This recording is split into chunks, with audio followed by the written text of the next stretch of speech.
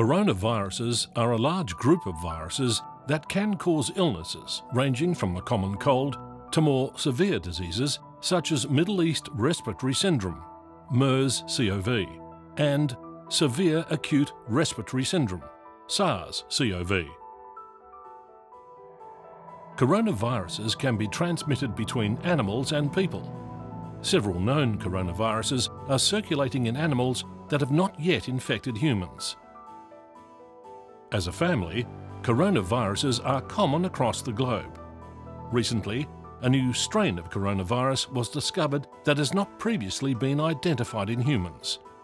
This new coronavirus, sometimes referred to as the novel coronavirus, leads to coronavirus disease, also known as COVID-19.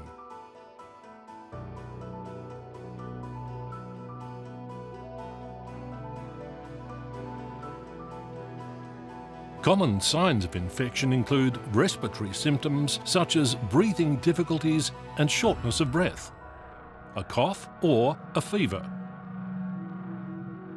Infection can also lead to the much more severe consequences of pneumonia, severe acute respiratory syndrome, kidney failure and even death.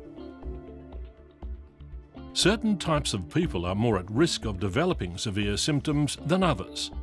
The risk increases if you are an older person, if you have a weakened immune system, if you have a pre-existing medical condition, such as heart disease, high blood pressure, chronic lung disease, diabetes or cancer.